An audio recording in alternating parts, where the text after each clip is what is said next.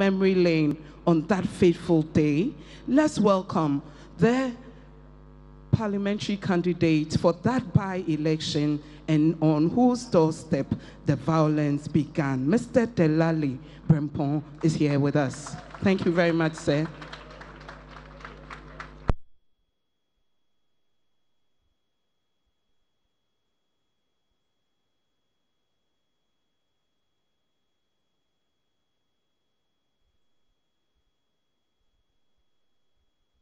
Pram constituency, the Honorable Sam Nartey George.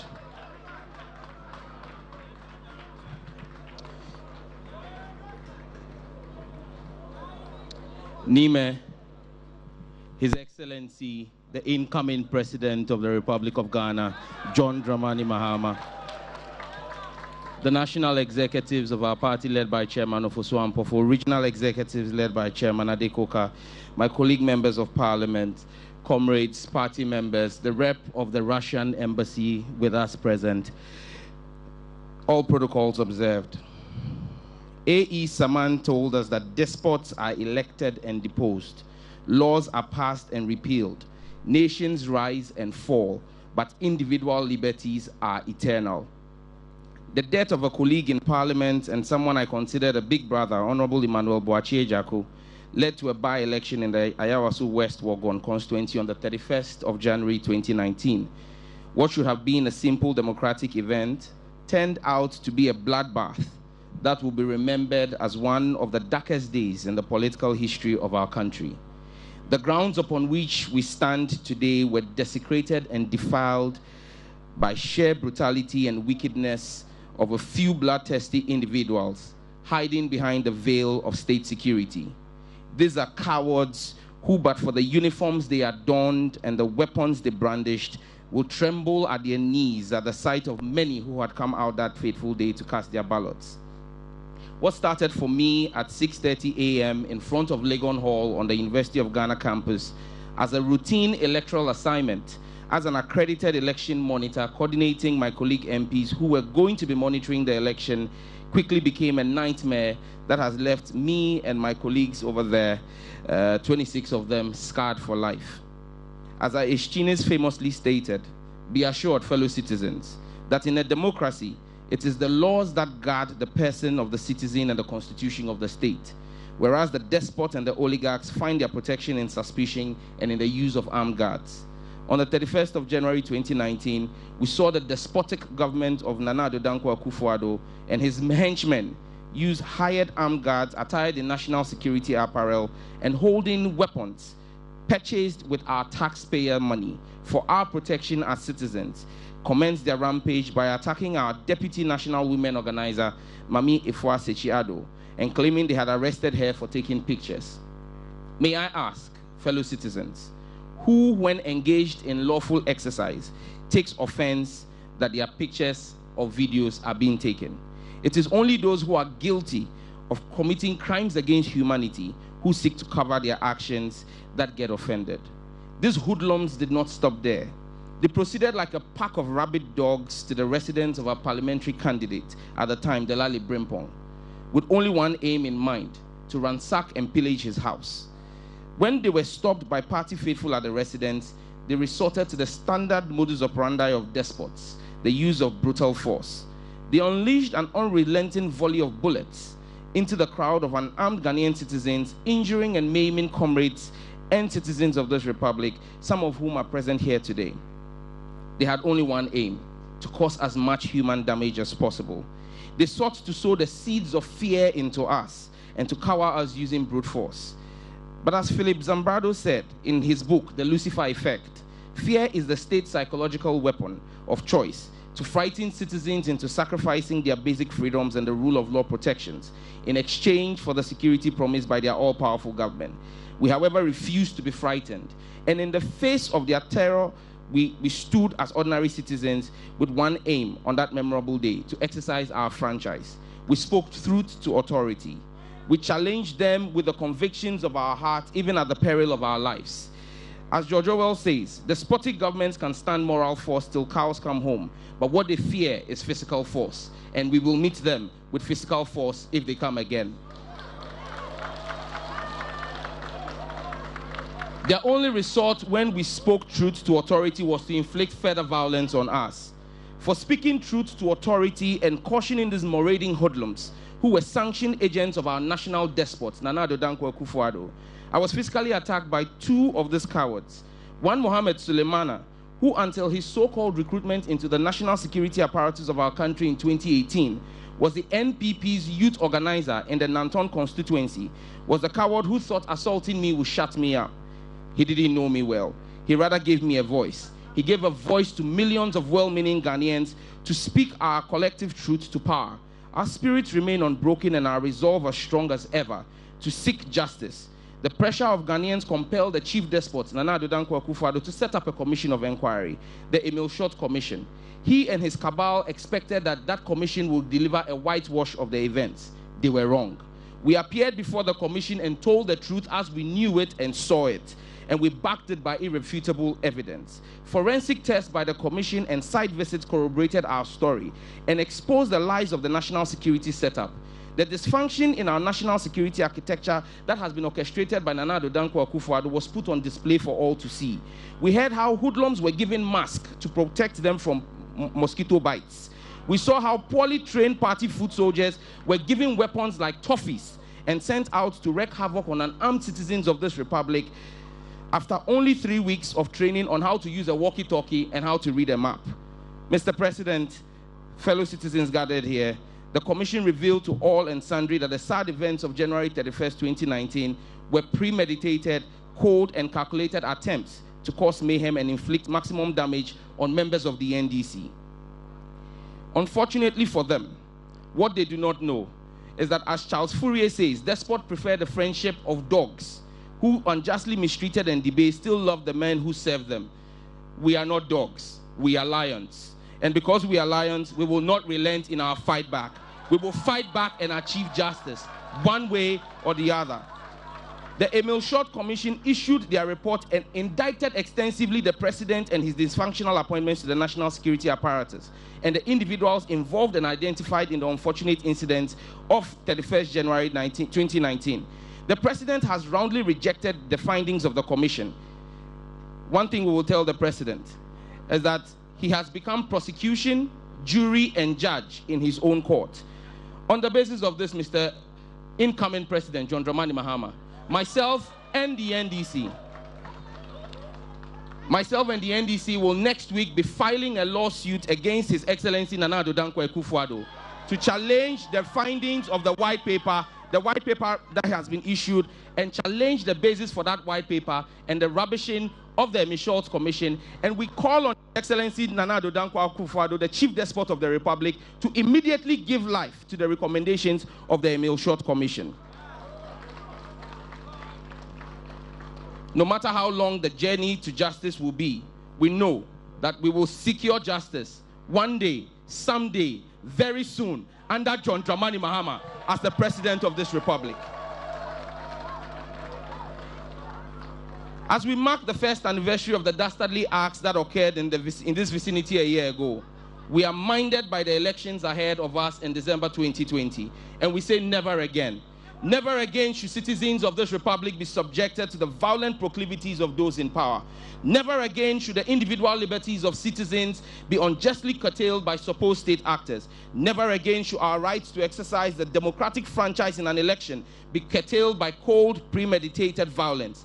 Let those who parade the corridors of power today in the Flagstaff House know one thing that the power of the people is greater than the people in power. God bless our homeland and help us to resist oppressors' rule. Thank you very much.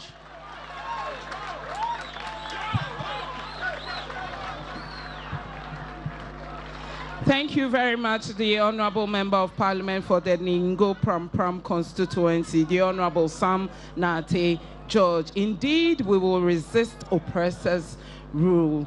I'm sure that you all want to go back again and watch events of that day. We have some compiled videos for you, so if you turn towards the screen, I'm sure that you can bring those memories back and know exactly why we are here this morning.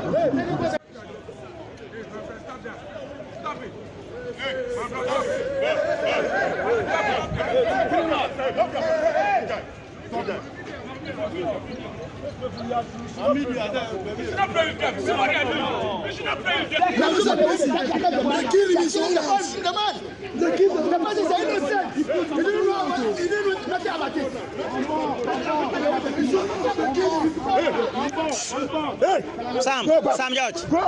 What, what happened? No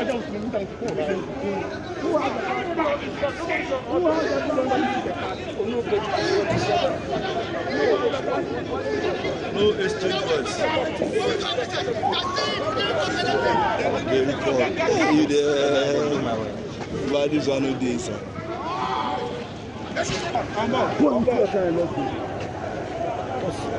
Someone has been shot said he has been killed or something. Are you sure that's what he said? Yeah, he just said, he said the boy was Ask him.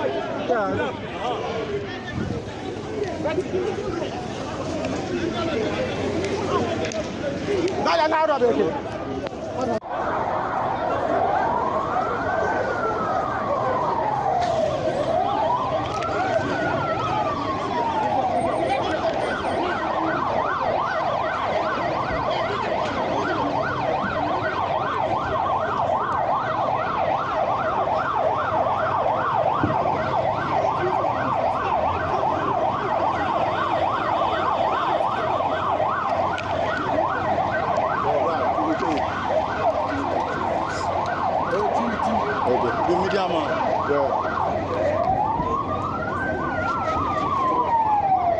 I happy for them, you know, take that one. So if they take that one, no, nah, no go. I don't go there. Time. I, I, I can only report what I see.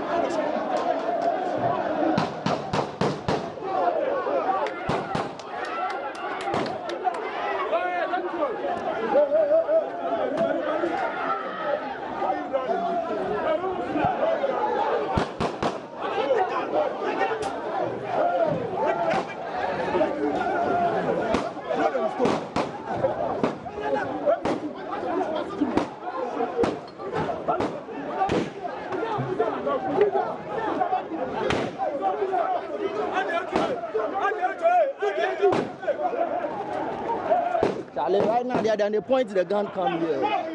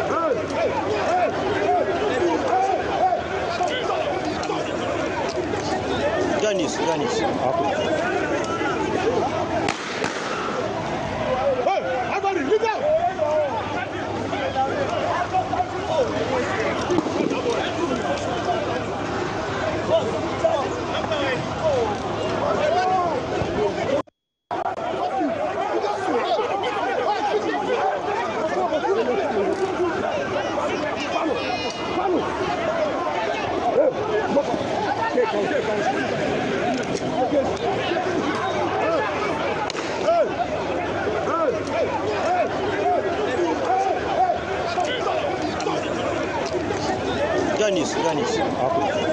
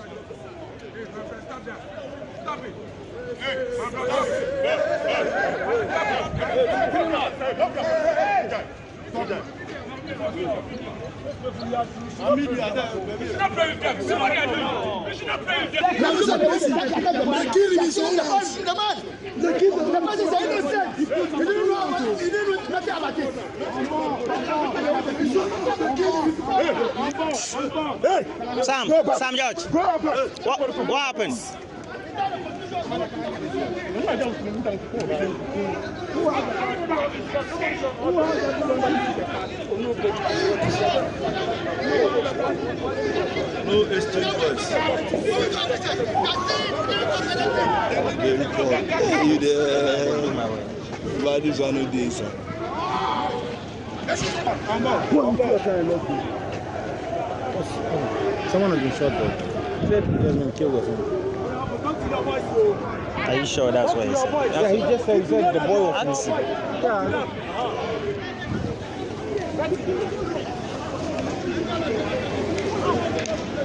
Now, now, now,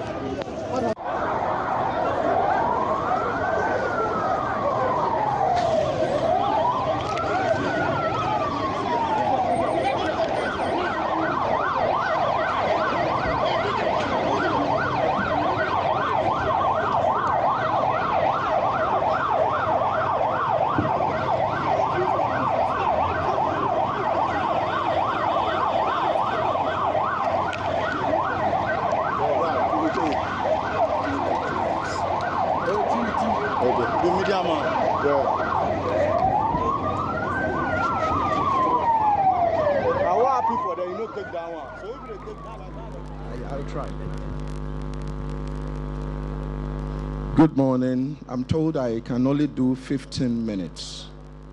I'll do my best.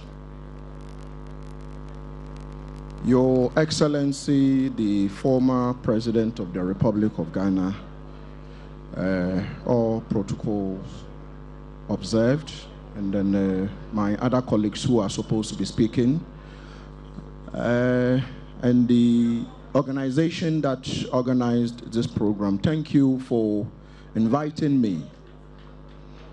And probably I accepted to speak here because of the victims.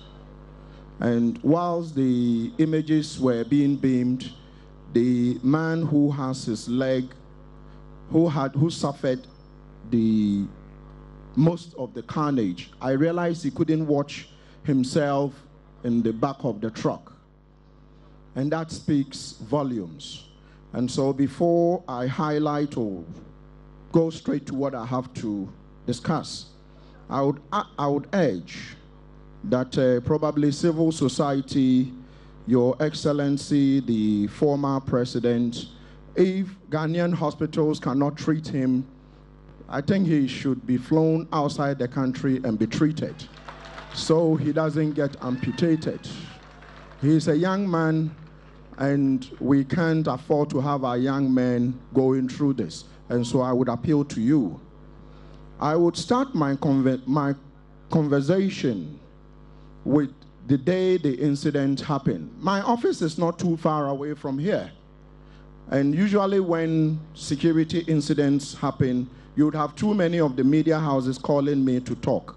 And it was right around 9, 8, 9, and uh, the calls started coming. I didn't know what was going on. I knew there was just an ordinary by election. So I picked that of TV3. And immediately they told me they had to speak to me via Skype. And I said, What was it? And they started beaming images of probably a scene that looked like a war zone. And they told me the police had besieged the place and firing at people. And my experience and probably what I know, I told them it could not have been the police, even before I got to know the facts, because I know the police is structured, unlike the national security. And so I told them that no, it wouldn't be, it's not possible. And in fact, the then director of Ghana Police Operation appeared there and said, no, it's not them. And we saw what happened at the commission. This was a Thursday. One thing I would want to put across to His Excellency, the President of the Republic of Ghana, is not to look into the eyes of these traumatized young men, some of them who are still in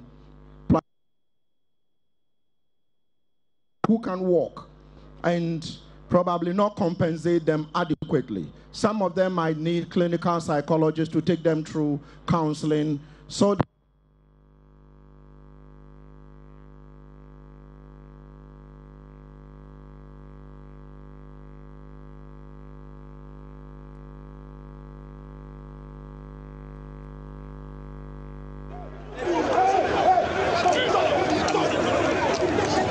Dennis, Dennis.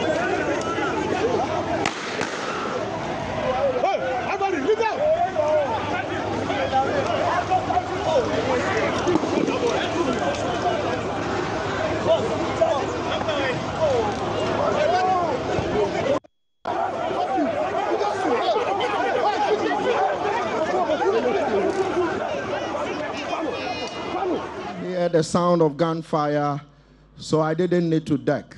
I believe it was a hitch or a glitch.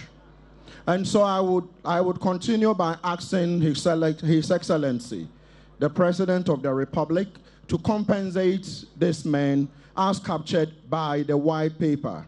That is the only way 2020 elections, we might not have reprisal attacks if anything should happen. But when people begin to feel that if I'm attacked and I don't defend myself, chances are that I never get any compensation, then we, are, we might see something that would be more despicable. The third one has to do with prosecutions. In the white paper, it was highlighted that a certain double should be prosecuted and some people should be prosecuted. Unless, of course, I'm missing something, but that I haven't seen or read anywhere that those prosecutions are ongoing. Before the 31st January carnage here, and strangely, anyone who knows the, this constituency is supposed to be a middle class constituency. And for reasons that I can't tell, this took place here. And before then, some of us have been talking about national security. And I've said it. And I would repeat it again that the national security has outlived its usefulness. It has outlived its usefulness. I would appeal to the president. I would ask that we scrap the national security. Let's clean it with a parazone. Let's restructure it because the national security is heading us into probably that doomsday prophecy. And you know, I mean, the story is out there on social media. I didn't put it out there. You know what our national security minister got himself into. Probably that's a tip of the iceberg. And so I would urge that the laws that put together the national security, the national security is doing something else. We have a paramilitary within the national security. They are not supposed to be keeping arms. And I dare say that somewhere last year, was it two years ago, 4,000 shotguns were brought into the country. And I don't know where the shotguns are. I was expecting national security to tell us where the shotguns are. Have they been distributed for hunting? Have they found their way into the hands of people and this could be used? I don't know. I'm only asking questions. And so I would urge that if the president is listening humbly, the national security is a problem when it comes to the security of this country. I do also want to, probably, a note of caution. We have a certain vigilantism and call it other offenses law, which I call the most bogus law I have ever come across. Because you don't make a law for yourself and hope that you would use the law against yourself. And I'm saying this without any shred of mind, any shred of doubt in my mind. Because if you make such a law, and that law is supposed to be supervised by the executive, and we have REGSEC, we have DISEC, MUSEC, and these are people who the political party full soldiers, those who commit the most atrocities, respond to. And you have a certain police that we know that the police service with integrity but not independent means that a police officer might not be able to arrest these hoodlums when they go on rampaging. And so I would urge that uh, I don't know why that law was passed in Parliament, but subsequently, uh, those of us who failed to contribute to it for good reasons can testify to the fact that this law has not been used, nowhere has it been used. And so then probably we are good in formulating laws. The other thing has to do with measures to put in place for 2020 elections. We already have too much tension in the country. And the agitations and counter agitations over the voters' register.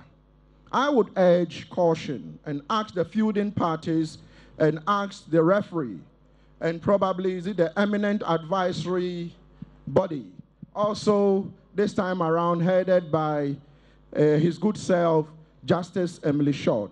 I'm not, I, I want to believe that uh, this time around, it's not going to be a situation like the Commission's report, where what is going to be done would be in favor of Ghanaians, because then uh, it looks like a lot of Ghanaians are asking for one thing, and I'm hoping that the right thing would be done so that uh, the tension we are seeing is almost like a precursor for a certain confrontation in 2020 election. And I am here to speak so that the media here would have me on record for admonishing and asking our leaders that can we do the right thing so that if anything happens and I'm called to speak, I would say, I told you.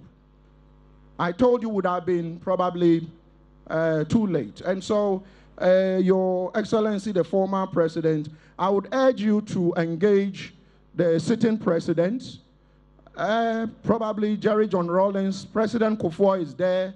You, the past presidents and uh, the leaders of this country who knows how this country should be run should probably sit with those who knows who probably are in charge of this country today so that in the end what Ghanaians want is either to go to the elections and confirm or uh, vote against. That's all we want. Very simple. And so I would urge that that is done so that uh, the precursor, we are seeing demonstrations and counter demonstration yesterday was something that shouldn't have happened. And so as far as I am concerned, Mr. President, I'm given 15 minutes and I haven't been sent any note to say I would have to end. So I must as well continue.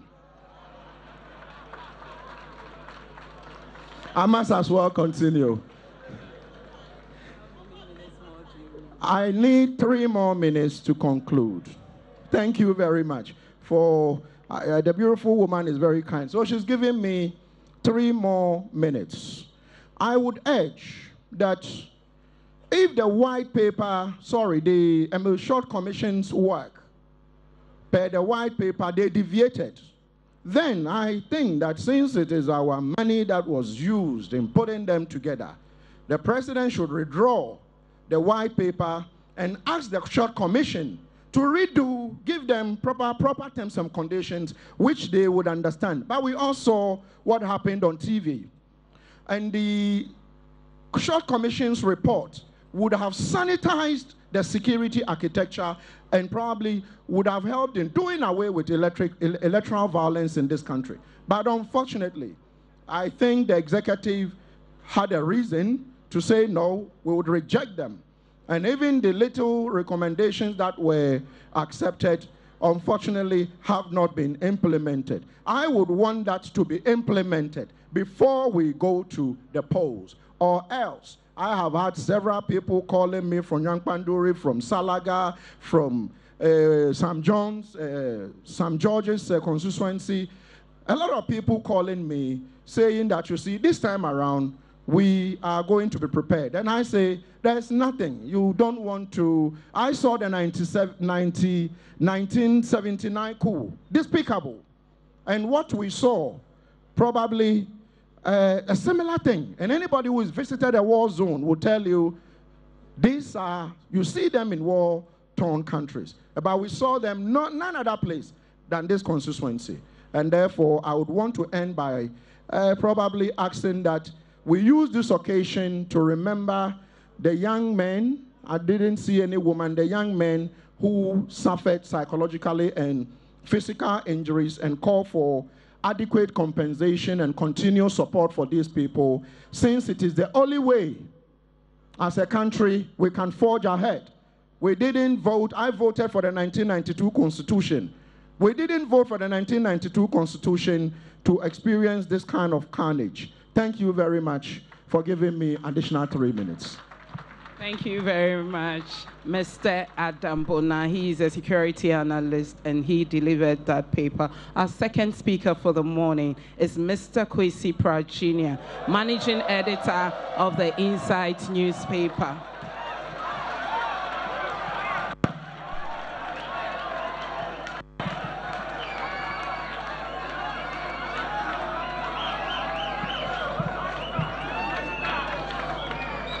Your Excellency John Dramani Mahama, former president, leader of the National Democratic Congress, and presidential candidate of the National Democratic Congress.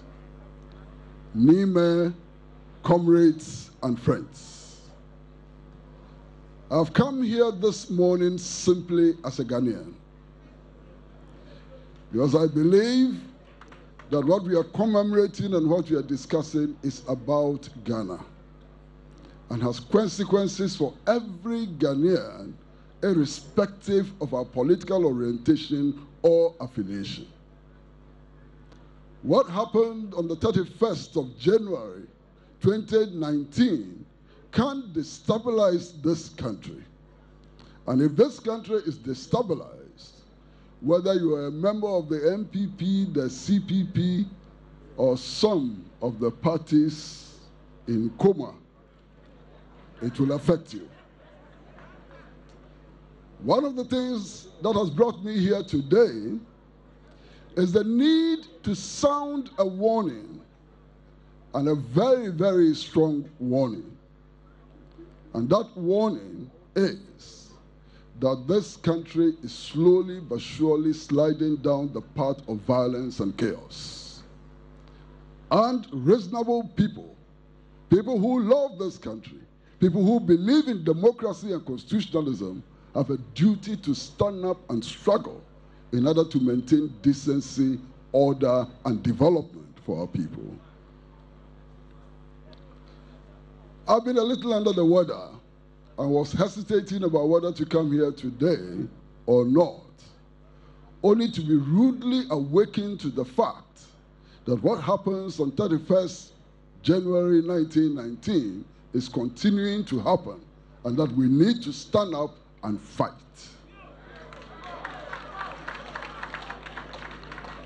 Yesterday, I saw a post on WhatsApp, which was a directive from the hierarchy of the Ghana Police Service, instructing all police personnel not to provide security for this event. This is the first time in my life, and perhaps the first time in recorded history, that a police institution is calling on policemen not to provide security. Now, if the police is not providing security, what is the police there for? Indeed, what happened yesterday is a continuation on what happened on the 31st of January 2019. It's a continuation. By announcing that the police was not going to provide security for this event, what was the police service seeking to do? Was the police service not sending a signal to hoodlums that they can come here and do as it please and that the police would not act? Was that not what the police was doing yesterday? In any case, whether we like it or not, President John Dramani Mahama is a president of this country, has been a president of this country before.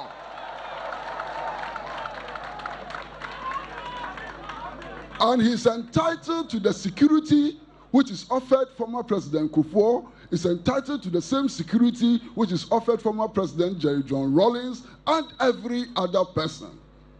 The police must provide reasons why former President John Dramani Mahama cannot be provided with security when he attends public events like this one. I am totally shocked and disgusted by the conduct of our police service. And indeed, I like to use this opportunity to send a very clear and loud warning to our security services. Our security services should not forget that the people of this country defeat British colonialism at the time when Britain was said to rule the waves. We defeated British colonialism. The people in the security services should not forget what happened in Haiti when, under Papa Doc and Baby Doc, they established Tonton Macoute to terrorize the people. They still drove them out of power. The security services should not forget the fact that the United States of America, with all its might, was driven out of Vietnam with its tails behind its knees. So, no security force can stand against the will and determination of the people. And that ultimately, ultimately, the people of this country will take their destiny into their own hands and they will defeat all the negative forces which intend to cause chaos and mayhem in our country. And I can assure them of that. There are so many of us who have said that we are praying. We are praying to avoid violence in the election in 2020.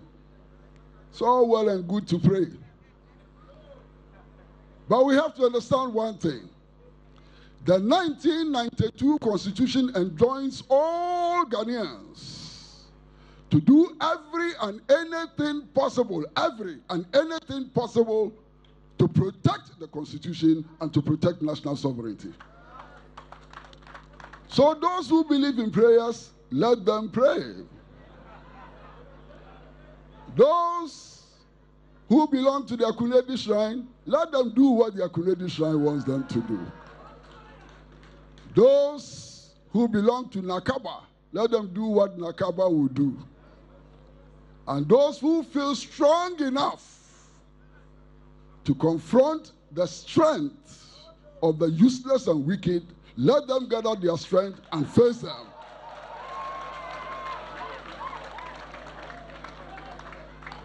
That is a duty that the 1992 Constitution imposes on us. The 1992 Constitution is absolutely clear about what we ought to do when national sovereignty is threatened.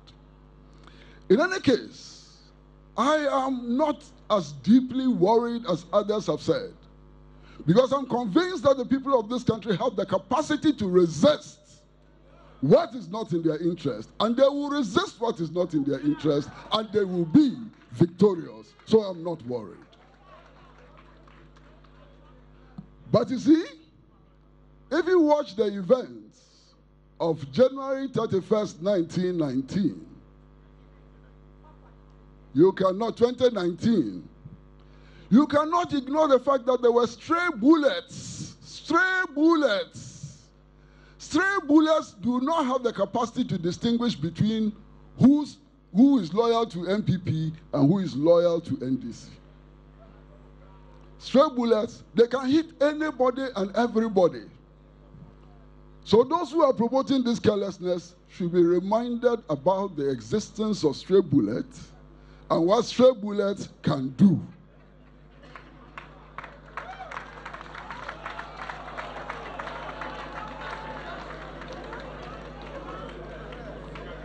Comrades and friends,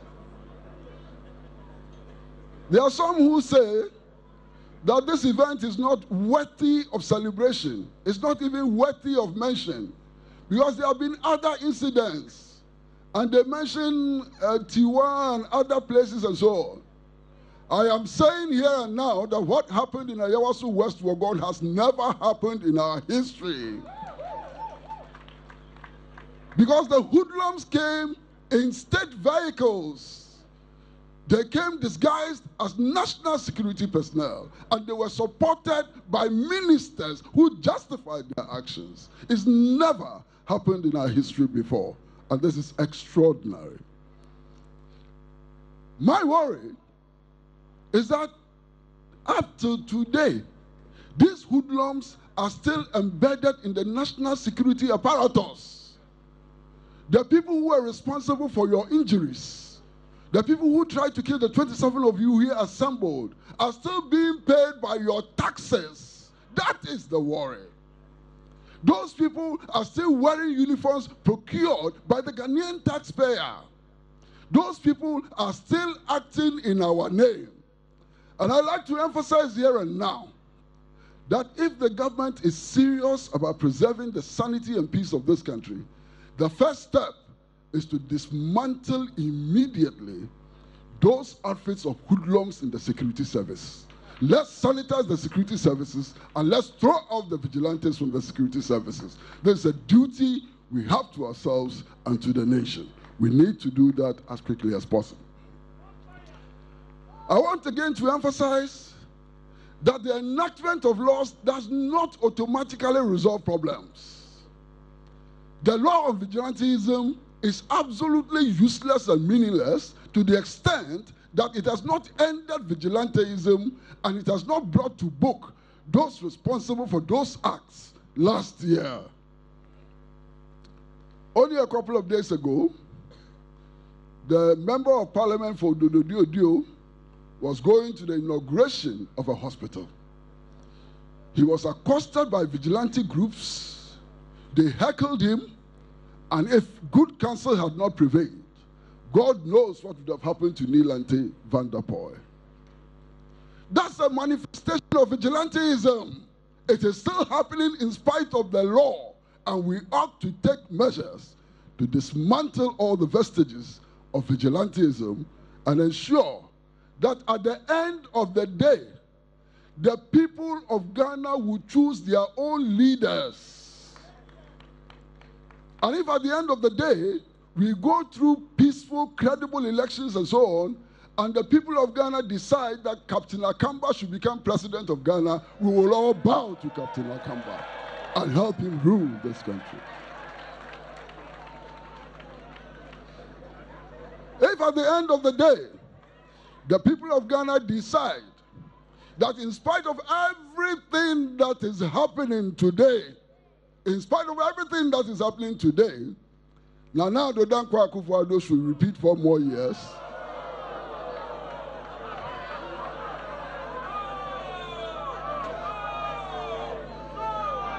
But, but if that is the will of the people expressed in true, genuine, transparent elections, we have no option than to accept it.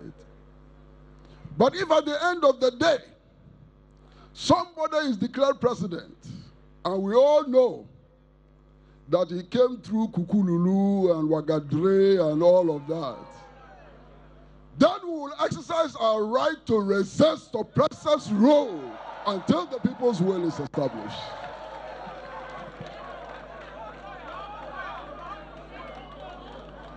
And there can be no compromise on this one. No compromise on this one. And indeed, all of us, and I mean all of us, irrespective of our political party affiliation and so on, ought to join this campaign to ensure that the true will of the people is expressed and accepted and that we work with the true will of our people. One of the major things threatening our democracy today and casting a shadow of doubt about the outcome of the 2020 elections is the attempt to fabricate a new voters register. And some of the arguments that have been made simply defy common sense.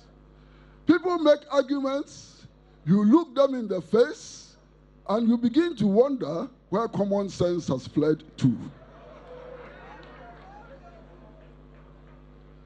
We are told that the Ghanaian voters register has dead people on it and therefore it is not useful. Show me one country in the world, from Afghanistan through India, through Pakistan to the United States of America, where you don't have dead people on the register. It's impossible to have a register without dead people. If you finish compiling the register at 12 noon today, by 1 o'clock, somebody will die there will always be dead people on the register. So that's a bad argument. It's an argument which should not be made. We are being told again that we need to compile a new voters register because the machines are faulty. If the machines are faulty, why wipe the whole data? Why don't you simply change the machines? And then they say that, oh, some people because of the work they do, their fingerprints have been deformed. So we should add facial recognition. As if only fingers can get deformed. What about faces would get deformed? This whole argument is so nonsensical, it doesn't make sense. And unfortunately for us, we have an electoral commission and commissioners who have no shame wearing their, their, their, their biases as badges of honor. You have a vice chairman of the commission who can say in public that he hates one particular party, that that one particular party is a danger to democracy. Where does this happen? How can this happen anywhere? So the resistance against the voters' register ought to continue as one of the measures which would ensure that the outcome of the elections would be credible. but I must sound two notes of caution. What is happening in our country demands total mobilization, complete and total mobilization of everybody and anybody. This hanky panky way of organizing resistance, of mobilizing and demobilizing, mobilizing and demobilizing, is not in anybody's interest. So, those who want to mobilize, let it be mobilization all the way, no demobilization anymore. Now, this mobilization and demobilization sends wrong signals. So, that is the first caution that I like to deliver. Now, the second caution that I like to deliver is that all of these processes which have begun, demonstrations, press conferences, and so on, somebody must begin to determine the end game. What is the end game? What are the different options open to us? If this does not happen, what should happen? If that happens, what should happen? There has to be a plan. You don't start something until you have a plan for the end. And I don't see that plan for the end. That is the weakness of the mobilization that is taking place. So let us begin to mobilize, let us begin to organize, but above all, let us begin to think. And let our actions spring out of thinking. I am confident. I am absolutely confident that on December 7th, 2020, the true will of the people of Ghana will be expressed. And no force on earth can change that true will of the people of this country. And I'm this confident because we are all learning our lessons. All of us are learning our lessons.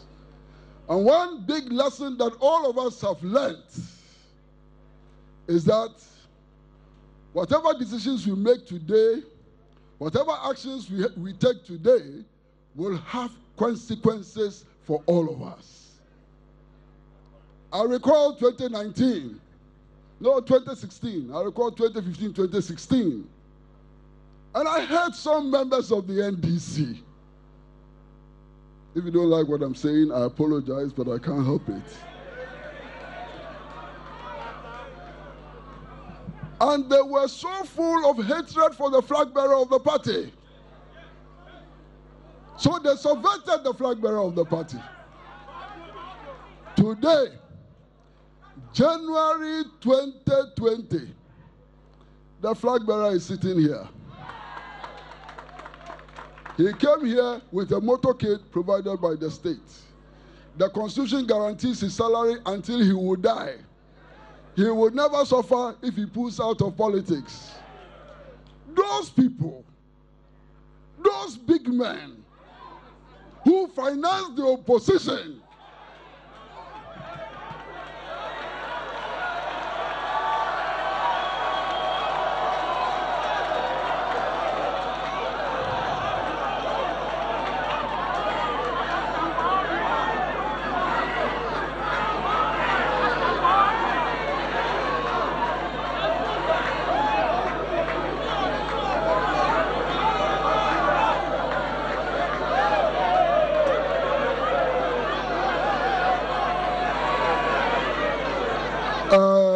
comrades, comrades, comrades, comrades, comrades, comrades. Those big men, those party giants, and so on, what is happening to their businesses today? Are they not the people who are today playing hide and seek with the police? So if you don't learn from this experience, it's up to you.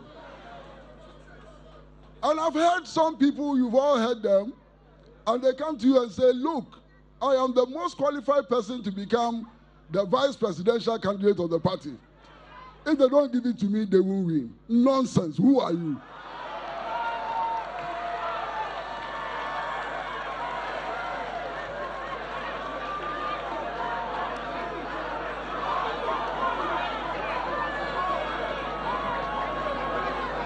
Comrades, comrades, comrades and friends, whether we operate in the CPP, whether we operate in the PNC, whether we operate in the NPP and so on, what makes politics noble is that it's about the people of our, the, our country and their plight and how to change the conditions of the underprivileged. It is not about anybody with a stupid and useless ambition to become anything.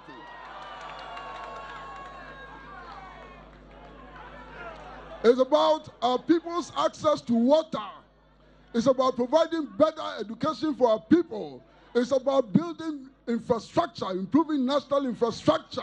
It's about potable water for our people and so on. That is what politics should be about. All these useless, ambitious people who are striding the path and making things difficult, they should get out of our way and let the people move forward.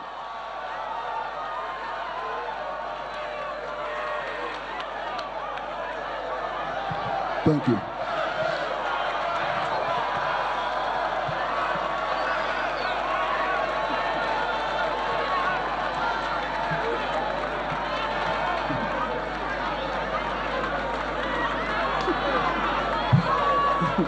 Thank you very much. I know you want to hear more, but we'll do that another time. Thank you very much, Mr. Kwesi Pratt Jr., Managing Editor of the Insight newspaper. We are grateful for your time. Remember that if you are watching us from home, we are live on Accra FM, Class FM, Power FM, or Ahoto FM. Our third speaker for the morning is our brother, Dr. Abdul Basit Aziz Bamba. He is a lawyer and a lecturer at the University of Ghana, Legon, and he has also joined us this morning. Thank you very much for your time, Doc.